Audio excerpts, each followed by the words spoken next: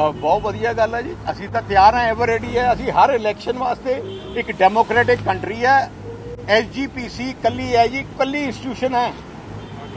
ਜਿਹੜੀ democratically elected ਤਰੀਕੇ ਨਾਲ ਇੱਕ ਆਪਣਾ ਪਾਰਲੀਮੈਂਟ ਚੁਣਦੀ ਹੈ, ਤੇ ਸਾਨੂੰ ਤਾਂ ਖੁਸ਼ੀ ਹੈ। ਬਹੁਤ ਵਧੀਆ ਗੱਲ ਹੈ ਜੀ। ਅਸੀਂ ਤਾਂ ਤਿਆਰ ਹਾਂ ਐਵਰ ਰੈਡੀ ਹੈ। ਅਸੀਂ ਹਰ ਇਲੈਕਸ਼ਨ ਵਾਸਤੇ ਇੱਕ ਡੈਮੋਕ੍ਰੈਟਿਕ ਕੰਟਰੀ ਹੈ। ਐਸਜੀਪੀਸੀ ਕੱਲੀ ਹੈ ਜੀ ਕੱਲੀ ਇੰਸਟੀਟਿਊਸ਼ਨ ਹੈ। ਜਿਹੜੀ ਡੈਮੋਕ੍ਰੈਟਿਕਲੀ ਇਲੈਕਟਿਡ ਤਰੀਕੇ ਨਾਲ ਇੱਕ ਆਪਣਾ ਪਾਰਲੀਮੈਂਟ ਚੁਣਦੀ ਹੈ, ਤੇ ਸਾਨੂੰ ਤਾਂ ਖੁਸ਼ੀ ਹੈ। ਬਹੁਤ ਵਧੀਆ ਗੱਲ ਹੈ ਜੀ। ਅਸੀਂ ਤਾਂ ਤਿਆਰ ਹਾਂ ਐਵਰ ਰੈਡੀ ਹੈ। ਅਸੀਂ ਹਰ ਇਲੈਕਸ਼ਨ ਵਾਸਤੇ ਇੱਕ ਡੈਮੋਕ੍ਰੈਟਿਕ ਕੰਟਰੀ ਹੈ। ਐਸਜੀਪੀਸੀ ਕੱਲੀ ਹੈ ਜੀ ਕੱਲੀ ਇੰਸਟੀਟਿਊਸ਼ਨ ਹੈ।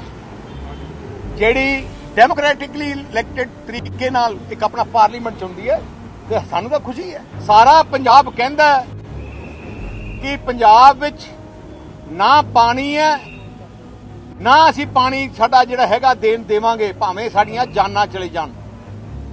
ਸਾਹਿਬ ਪ੍ਰਕਾਸ਼ ਸਿੰਘ ਜੀ ਬਾਦਲ ਸਾਹਿਬ ਨੇ ਜਦੋਂ ਇਹਨਾਂ ਦੀ ਸਰਕਾਰ ਬਣੀ 96 ਚ 97 ਚ, ਉਹਨਾਂ ਨੇ ਅਸੈਂਬਲੀ ਵਿੱਚ ਐਕਟ ਪਾਸ ਕਰਕੇ ਸਾਰੀਆਂ ਜਿਹੜੀਆਂ ਜ਼ਮੀਨਾਂ ਸੀ ਐਕਵਾਇਰ ਕੀਤੀਆਂ ਸੀ, ਉਹ ਡੀ ਨੋਟੀਫਾਈ ਕਰਕੇ ਕਿਸਾਨਾਂ ਨੂੰ ਵਾਪਸ ਦੇ ਦਿੱਤੀਆਂ ਤੇ 191 ਕਰੋੜ ਦਾ ਚੈੱਕ ਹਰਿਆਣੇ ਨੂੰ ਦੇ ਦਿੱਤਾ। ਕਿ ਅੱਜ ਦੇ ਬਾਅਦ ਤੁਸੀਂ ਸਾਡੇ ਪੰਜਾਬ ਦੀ ਧਰਤੀ ਤੇ ਨਿਗਾਹ ਨਾ ਰੱਖਿਓ।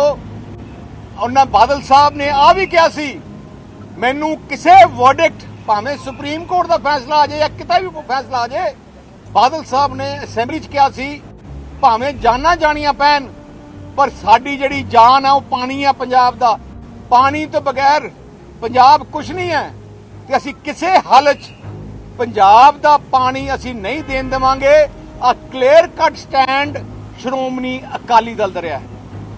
ਜੇ ਤੁਸੀਂ ਐਸਵਾਈਐਲ ਮੁੱਦੇ ਦਾ ਇਤਿਹਾਸ ਦੇਖੋ, ਆ ਐਸਵਾਈਐਲ 1976 ਵਿੱਚ ਜਦੋਂ ਦੇਸ਼ ਵਿੱਚ ਐਮਰਜੈਂਸੀ ਸੀ, ਇੰਦਰਾ ਗਾਂਧੀ ਨੇ ਯੂਨੀਲੈਟਰਲੀ ਆਪਣੇ ਆਪ ਫੈਸਲਾ ਕਰ ਦਿੱਤਾ ਜਿੱਥੇ ਹਰਿਆਣੇ ਨੂੰ 3.5 ਜਿਹੜਾ ਐਮਏਐਫ ਪਾਣੀ ਹਰਿਆਣੇ ਨੂੰ ਦੇਤਾ। ਉਦੋਂ ਸਾਰੇ ਲੀਡਰ ਸ਼੍ਰੋਮਣੀ ਅਕਾਲੀ ਦਲ ਦੇ ਅੰਦਰ ਸੀ।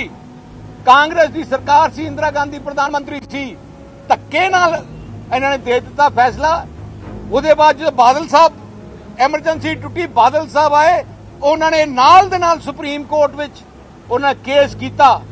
ਪਰ ਇੰਦਰਾ ਗਾਂਧੀ ਨੇ ਉਦੋਂ ਬਾਦਲ ਸਾਹਿਬ ਦੀ ਸਰਕਾਰ ਸਾਲ ਡੇਢ ਸਾਲ ਤੋੜ ਦਿੱਤੀ ਤੇ ਉਹਦੇ ਬਾਅਦ ਦਰਬਾਰਾ ਸਿੰਘ ਨੂੰ ਮੁੱਖ ਮੰਤਰੀ ਬਣਾਇਆ। ਤੇ ਦਰਬਾਰਾ ਸਿੰਘ ਤੋਂ ਉਹ ਕੇਸ ਵਾਪਸ ਸੁਪਰੀਮ ਕੋਰਟ ਤੋਂ ਵਾਪਸ ਕਰਾ ਲੈ ਲਿਆ ਤੇ ਅਗਲੇ ਬਾਅਦ ਉਹਨੇ ਇੰਦਰਾ ਗਾਂਧੀ ਨੇ ਇੱਥੇ ਆ ਕੇ ਧੱਕੇ ਨਾਲ ਕਾਂਗਰਸ ਪਾਰਟੀ ਦੇ ਇੱਥੇ ਕਪੂਰੀ ਆ ਕੇ ਨੀਂਹ ਪੱਥਰ ਰੱਖਿਆ, ਜਦੋਂ ਦਾ ਉਹਦੇ ਬਾਅਦ ਅਕਾਲੀ ਦਲ ਨੇ ਮੋਰਚਾ ਲਾਇਆ। ਇਸ ਪਾਣੀ ਦੇ ਮੁੱਦੇ ਤੇ ਸਭ ਤੋਂ ਵੱਡੇ ਦੋਸ਼ੀ ਕਾਂਗਰਸ ਪਾਰਟੀ ਹੈ, ਜਿਨ੍ਹਾਂ ਨੇ ਪੰਜਾਬ ਦਾ ਪਾਣੀ ਖੋਇਆ। ਅੱਧੇ ਤੋਂ ਜ਼ਿਆਦਾ ਪੰਜਾਬ ਦਾ ਪਾਣੀ ਕਾਂਗਰਸ ਪਾਰਟੀ ਨੇ ਰਾਜਸਥਾਨ ਨੂੰ ਦਿੱਤਾ। ਜਿਹੜਾ ਅੱਧਾ ਬਚਿਆ ਸੀ, ਉਹਦਾ ਅੱਧਾ ਹਰਿਆਣੇ ਨੂੰ ਦੇਤਾ। ਜਿਨ ਤੁਸੀਂ ਹੈਰਾਨ ਰਹਿ ਜਾਓ ਐਡੀ ਵੱਡੀ ਬੇਇਨਸਾਫੀ ਪੰਜਾਬ ਦੇ ਲੋਕਾਂ ਨਾਲ ਹੋਈ ਹੈ। ਸਾਡੇ ਪਾਣੀ ਚੋਂ ਜਿੰਨਾ ਪਾਣੀ ਜਦੋਂ ਦੇਸ਼ ਆਜ਼ਾਦ ਹੋਇਆ, ਜਿੰਨਾ ਪਾਣੀ ਸੀ, ਕੱਲਾ 25% ਆਪਣੇ ਕੋਲੇ ਰਹਿ ਗਿਆ। ਹੈ ਬਾਕੀ ਸਾਰਾ ਪਾਣੀ ਆਪਣਾ ਰਾਜਸਥਾਨ, ਹਰਿਆਣੇ ਤੇ ਦਿੱਲੀ ਨੂੰ ਦੇ ਦਿੱਤਾ, ਕਾਂਗਰਸ ਪਾਰਟੀ ਨੇ। ਆ ਦੇ ਦਿੱਤਾ ਹੈ। ਆ ਕੱਲਾ ਸ਼੍ਰੋਮਣੀ ਅਕਾਲੀ ਦਲ ਹੈ, ਜਿਹੜਾ ਲੜਾਈ ਲੜ ਕੇ ਜਿਨ੍ਹਾਂ ਨੇ ਹਰਿਆਣੇ ਤੋਂ ਜਿਹੜਾ ਜਾਣਾ ਸੀ ਉਹ ਬਚਾ ਲਿਆ। ਨਹੀਂ ਤਾਂ ਜੇ ਕਾਂਗਰਸ ਹੁੰਦੀ ਇੱਥੇ, ਤਾਂ ਪਾਣੀ ਉੱਥੇ ਚਲੇ ਜਾਣਾ ਸੀ। ਹੁਣ